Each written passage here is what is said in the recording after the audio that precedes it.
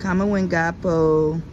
Well, I had to prune this pomegranate tree.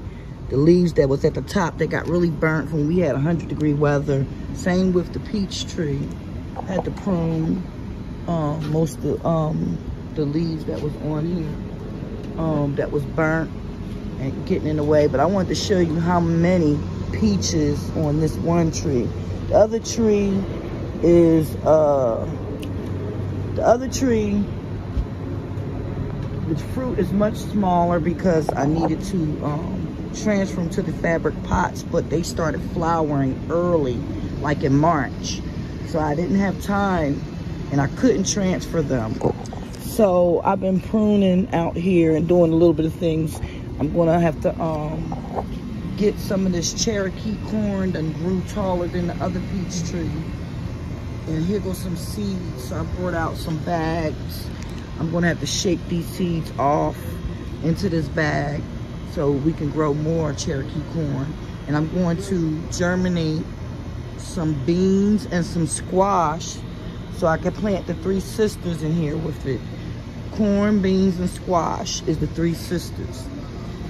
So yeah, I had to prune this tree too.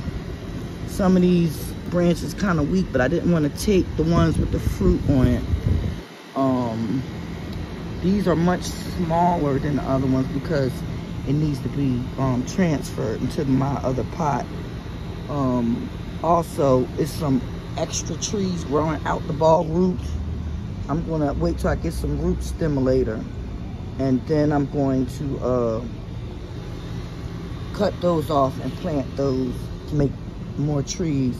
Now, my husband had to help me after I pruned this because this tree was leaning a lot and it's got a lot of fruit on it. We done counted like 10 peaches on it. Um, so he helped me put it into this tomato cage to try to hold it up a little bit better than the stick that it came with.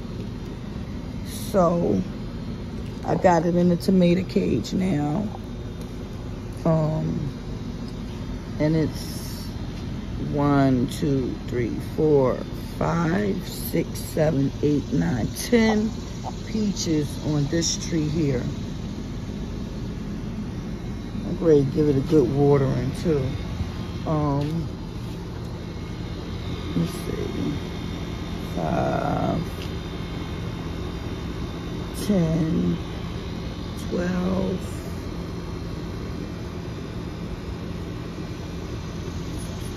It's about 20 small peaches on this one. But I'm gonna take this uh, Cherokee corn and grew so much taller than the peach trees now. I'm gonna take the seeds off of this and germinate some um, Three Sisters to plant with it.